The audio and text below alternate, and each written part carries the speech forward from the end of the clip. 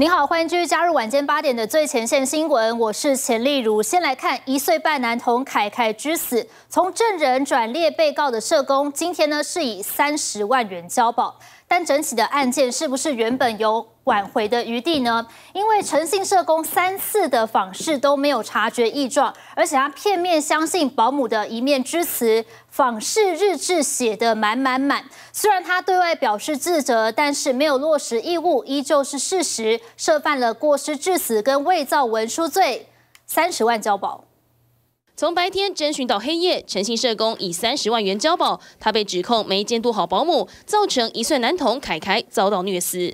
陈小姐有话要说啊？羽绒外套包住头，一旁儿福联盟人员和亲友再帮他披一件外套，组成人墙。案发后，社工相当自责内疚，家属提出相关证据质疑，让他从证人转列被告。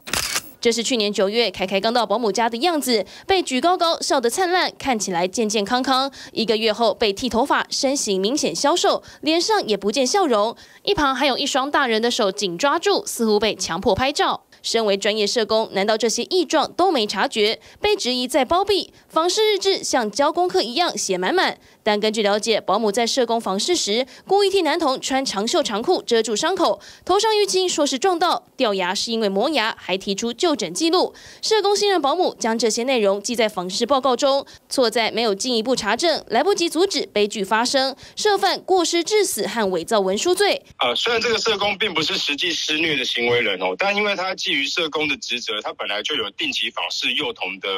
职责，再来，他必须得要监督管理保姆的照顾行为。那以本件最后幼童的死亡原因来看的话，显然这名社工并没有落实刚刚讲的这些注意义务。检方同步提讯保姆妹妹，因为她也曾和姐姐聊到如何教训男童，但她否认动手，讯后还押看守所。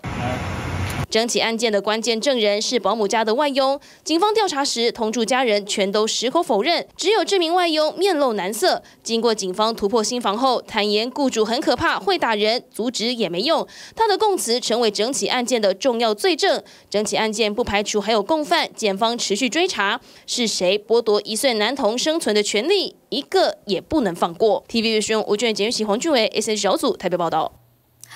凯凯的死都还在调查，现在却又烧出了别的争议。诚信社工在移送过程当中呢，双手被上铐，警方 IP 是猎巫跟违反了比例原则，因此超过了一百个民间团体联署抗议。不过对此，警方澄清说，依法是可以上铐，但针对过程当中手铐破漏，带队的侦查队长仍遭记升阶一职。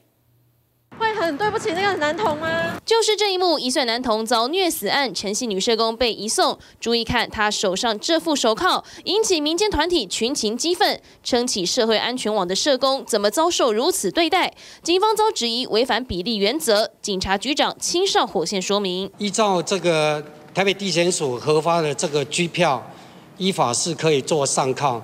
那但是就是说，对于使用借据的部分，如果没有这些。脱逃或者是自伤自残，那审酌这个案件的话，倒是可以做一个衡量。强调依法行政没问题，但带队的侦查队长遭惩处，又是什么逻辑？没有，他现在就是说上铐的这个过程当中，你在带带案解送的过程当中，应该避免这些的。这个手铐做一个铺路。民间团体认为社工全程配合，没有攻击或脱逃倾向，质疑警方使用手铐的正当性。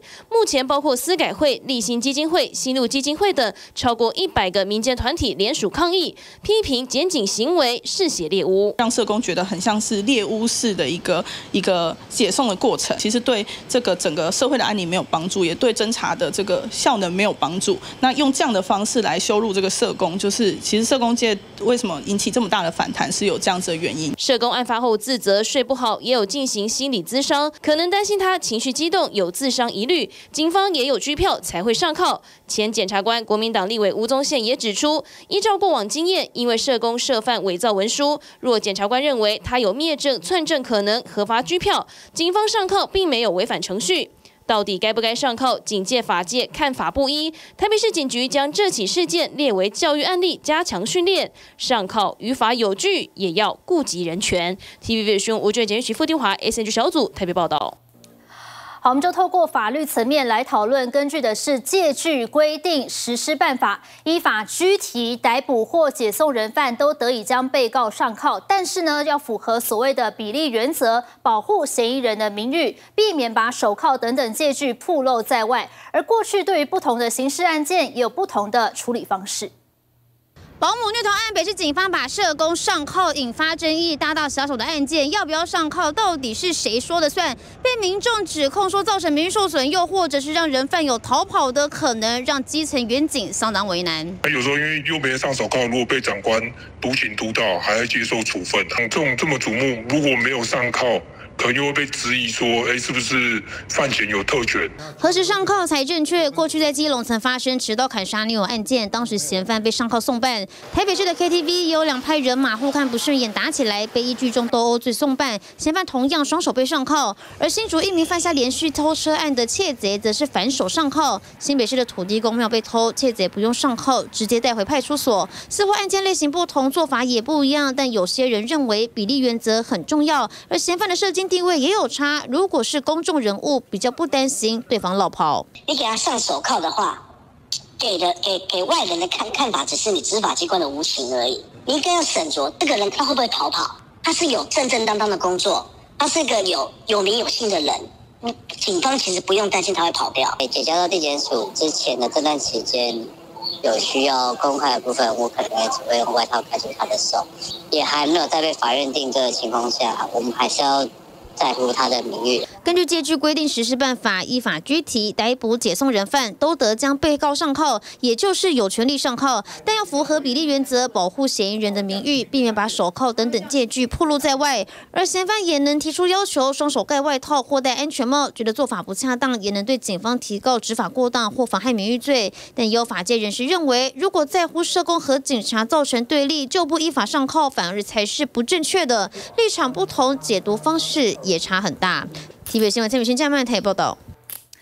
好，而舍有中嫌的刘姓保姆姐妹在收押之后呢，姐姐编号是两百，妹妹编号是两百零一。而讽刺的是，这两个人吃得好，睡得好，他们为凯凯吃馊水，在看守所内，他们却是三餐有菜有肉，营养均衡，每天还能睡九个小时，睡到自然醒。而凯凯的亲生母亲目前正在服刑，恐怕不知道孩子已经遇害。姐妹两人分别在一月和二月被收押禁见，但看守所的生活和被虐致死的开开相比，显得舒适许多。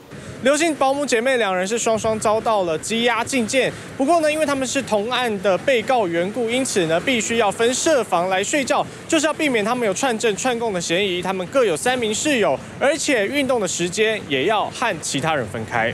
保姆姐妹党的三名室友是诈欺毒品相关案件的被告，不过因为都羁押禁见，不能和其他人接触，大部分时间都在设房里。十三号的三餐曝光：早餐吃芋泥包子和豆浆，午餐是酥炸腿排、蒸蛋、虾米、青江菜和山粉圆汤，晚餐则有卤肉饭、蒜香银芽、茶叶蛋和排骨萝卜汤。每天晚上九点熄灯，睡觉时间多达九个小时，另外还有三个小时可以运动，在设房内也能看报纸。对比他为男童搜水虐待，在看守所内不止三。餐吃得好，还能睡到自然醒。虐童案曝光后持续燃烧，已经到了人神共愤的地步。也传出保姆出租的房屋有房客曾听到凯凯大哭求饶的声音，但最后没有报警。发生这样的事情相当自责。也有其他邻居发现异状。认识保姆的民众都说，他们家经济状况似乎不差，有房可以租人，但他在家虐待男童，家人声称不知情，引起挞伐。他们这个楼上这个停车位哈，别人他不讲，不能不让停。跟你讲，这是我们的私堆，是尸堆，尸堆啊，问的为啥停呢？他很霸，大家弄好了，那个厝咧租人，个开几万的多钱那里缺钱。不过凯凯身世坎坷，传出妈妈正在服刑，但矫正署表示目前没有接获通报有受刑人家中发生这样状况，也不排除亲生母亲可能至今还不知情。TVBS 新闻综合报道。而检警怀疑整起案件恐怕还有更多人涉案。刘姓保姆的丈夫自称是士官长，他经营海钓船，在淡水算是小有名气。不过一家人住在一起，第一时间被带回，他却坚称自己不知情，关键证据还是外佣偷偷拍下的。因此检警也不排除将再次约谈这名丈夫到案说明。船身是亮红色，停在淡水渔人码头，相当显眼。这艘就是涉嫌虐童刘姓保姆丈夫的海钓船。明天准备去钓鱼，先来看一下那个准备东西嘛，就哎发现哎奇怪，什么船头有槟榔汁？船头被人丢槟榔汁，连甲板上都有，似乎被发现身份后有人气不过。而涉案的刘姓保姆的丈夫自称是士官长，经营海钓船，在网络上标榜最新最齐全，有多年的经验，在淡水也小有名气。那载客人在淡水这边算前辈了，大家在这边都是也是和平相处。这艘娱乐海钓船要价约三百多万元，船舱的门还贴上两张陆战队两栖侦搜部队的贴纸，但有其他钓客对外抱怨，保姆丈夫太有个性，不容易相处。其他有坐过他的船的钓客讲，就是说他这个人自负吧，可能会被他封封封锁踢出群组。但保姆的丈夫到底知不知情？住在家中的男童凯凯遭到虐待。前保姆在脸书发文透露，在招魂当天，在保姆家看到钓具海军陆战队的帽子，让他怀疑涉案的不止保姆姐妹俩，因为刘姓保姆和丈夫、儿子还有婆婆跟外佣同住。第一时间，丈夫被带回，坚称不知情。事后，直到外佣拍下关键证据，才让恶劣的保姆遭到收押。因此，检警也不排除再次约谈王姓丈夫。你换只嘴我咯，换只嘴，换只嘴，来拢做个好就走，唔是跟他照照顾老伙呢，全部拢来拍打扫啊，打扫、洗衣服啊，带小朋友啊。明明是同住的一家人，连其他公寓住户都曾听到孩子哭声，但刘姓保姆的丈夫则推称毫不知情，这说法难以让外人相信，是真的没回家不知道，还是害怕自己也卷入风波，企图帮忙掩盖更多证据，恐怕需要更多的调查才能厘清是否真的清白。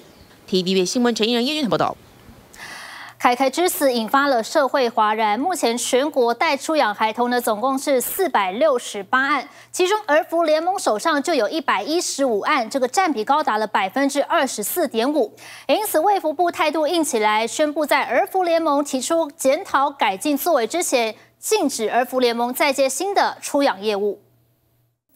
而福联盟发给内部社工信曝光，说看到诚信社工上铐那一幕，震惊、心碎也悲愤，强调不会让员工独自一人面对，感性喊话。但卫福部已经看不下去，在整个呃基金会还没有提出这样一个检讨的改进的作为之前，我们呃就先让就先暂停，让他呃新收。呃，收养新的收养童，卫福部态度硬起来，宣布禁止儿福联盟再接新出养业务，已经在走程序的要求，梅和县市政府得更积极访视。不过以目前全国待出养孩童来看，四百六十八人中，三岁童以下约两百人，光儿福联盟手上就有一百一十五案，占比高达百分之二十四点五。但到下午四点，还是没收到公文。他们的检讨报告以及改善的作为，嘿，再来看情况。